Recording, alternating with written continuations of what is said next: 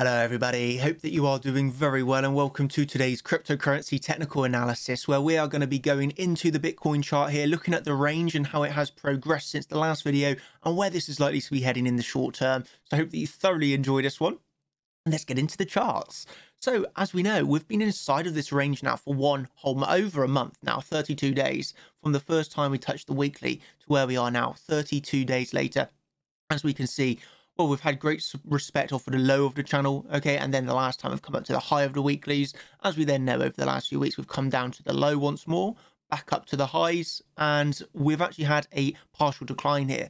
And you can see from the low, sorry, from the higher weekly, from the higher weekly, we come down to the 618 Fibonacci level. And as you know, this is where we had that 76% probabilities of it actually bouncing off the lower CC. That's exactly what it done. And you can see it's made its way up here with its higher highs and higher lows.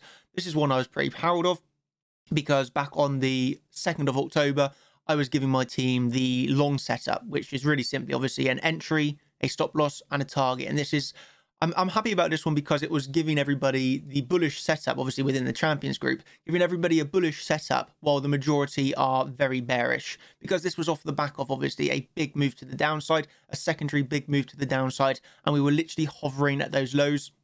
But me being a, a trader that likes to counter trade the majority, while majority are looking for shorts, obviously we're looking for longs that paid, and we now see ourselves up around 10,750 you do remember I was giving those $100 increments where you had really important levels 10 850, 10 750, 10 550, 10 450. You know, for some reason, the $50 in Bitcoin at the moment are just like magnets where price is just drawn to it. So you still do have those really relevant levels. So that's something to be aware of, by the way. Uh, but you can see here locally, okay, if we come down to, you know, one hour's fine, really. Low, high, higher low, higher high, higher low, higher high, higher low, higher high, higher low, higher high, higher low, higher high, potentially higher low. All we're doing is we are making bullish market structure, okay, with its higher highs and higher lows. So you, you one could say you don't need to stand in front of the train or you don't need to stand, I guess, about you just don't need to stand in front of the trend because the trend is still up, isn't it? It's still making its higher highs and higher lows. So the trend locally here on the one hour chart is very much bullish off of the back of bouncing off of the CC. Okay, obviously coming down to support, trapping lots of shorts at the lows, and then you get, well, it's not really, can't really be classed so much as a short squeeze, but the bullish market structure out of it. And I suppose this is the, well, this is one that I'm most proud of. If we go over to the MEX chart a second, we obviously look at what, you know, the triangle that we have going on here and what you can you know cast your minds back to when I first gave this triangle. And it's kind of amazing really how it's progressed. Um you know from from where it progressed you know last month we were recognizing where the low was going to be put in the high was going to be put in and then the next low was going to be put in. And each step of the way this has been traded with so much precision obviously getting the correct low and then getting the correct high and then getting the correct low bringing us up to where we are now. So each step of the way, predictly correct, correct, correctly predicting in advance exactly how these next few weeks we're going to be trading. That is a prediction and a half, ladies and gentlemen. It really is. And then it obviously leaves you now in the situation of, okay, you have more of a symmetrical triangle going on here. So we can just like ignore this. And what we can say is we have a symmetrical triangle. So you could be saying, okay, if this breaks to the upside, we trade it up to around 11,500. If this breaks to the downside, we trade it down to 9,500 sort of thing. So then you got that big, big breakout opportunity that will bring you to much higher prices or much lower prices. And this is the thing with triangles. Obviously, you know, you can obviously fake out of them and it goes like this or it goes like this. So that, that's the one step of caution that you have to trade. But at the end of the day, you have an absolute perfect symmetrical triangle. So you could be looking at this bullishly if it breaks to the upside or bearishly if it breaks to the downside, obviously fading the move. But at the end of the day, the prediction of the triangle each step of the way to the highs and to the lows traded with absolute precision. Even the way that you see where it bounced off the lower minus one here, absolute just absolute. I'm just very proud of this. I must admit. But like off of the fibs, taking the lows, coming back, putting in the high on obviously the volatility Thursday, high on the volatility Thursday, coming down to the negative one, building its way back up. I mean, yeah, I must admit, I'm, I'm proud of that one, uh, to be honest. But you know, that, that's what we got going on, obviously, on a medium or medium term time frame: high, lower high, lower high, curling that price action, low, higher low, higher low, curling that price action. So there's a few ways that you can look at it. You've got the triangle going on, and I, I, obviously I don't use Twitter anymore, but I would be very intrigued to know how many people are now. Oh, here's a triangle, and I'm like, yeah, I, I saw this triangle three weeks ago. um, anyway uh yeah and then obviously another perspective because as, as, again there's there's several different ways that you can view the chart and we're not saying one ray's right and one ray's wrong but we're saying you know you can use these different tools for confluence to get the highest probability trade so whether you're looking at it as a triangle, whether you're looking at it as a range, whether you're placing some fibs on this, whether you're using Elliott waves, whether you've got your pitchforks going on in here, it's all the same way to get it's this it's different analysis to get to the same place. So that's what we're attempting to do here to get to the same place of okay what's the next best trade uh, I'm not going to be sharing my position in this this video today on for the public. Uh, the champions know exactly what I'm doing and they know my trade. But I think that you got to use your own brain for this public video. You got to try and work out okay, I guess you can try and think what is Daniel's trade here? What is he going for? Obviously, we are in absolute bullish market structure after getting a partial decline in a in a in a in a bullish range. So you got to try and think to yourself, what is my next best trade?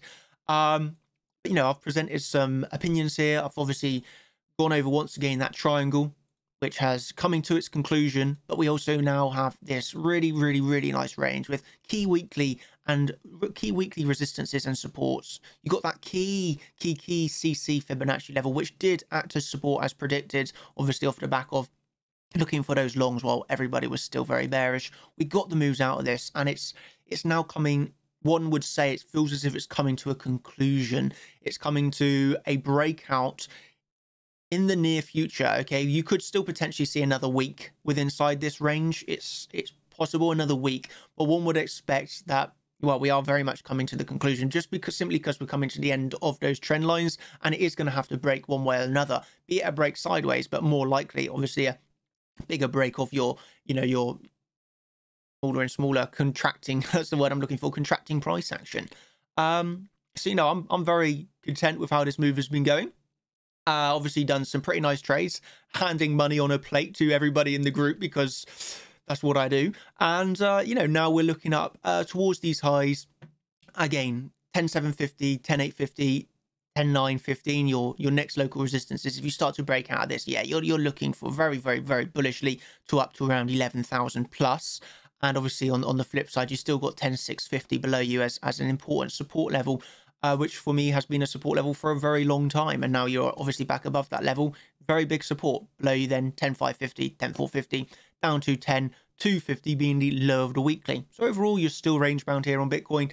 Uh, obviously, this is when a lot of people go to sleep or they turn off.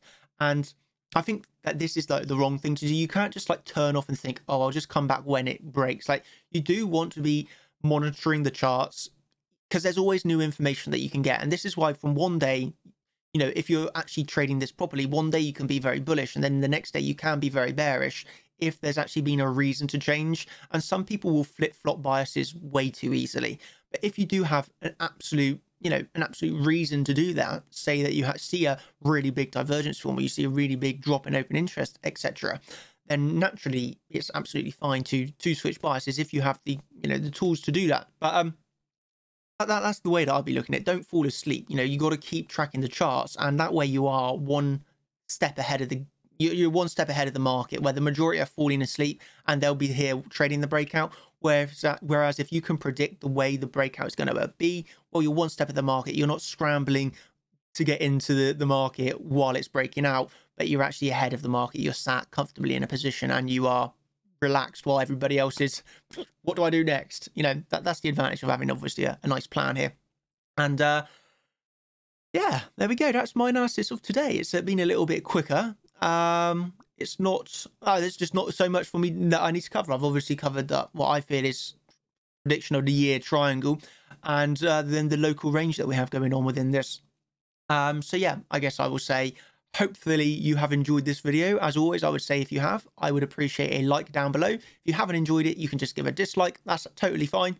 And I would say Um, hope you thoroughly enjoy trading this. If you would like to know how I personally am trading this with my exact entries, uh, then obviously this is stuff I share over in the champions group and what a what a few setups I've been giving recently. Let's be honest.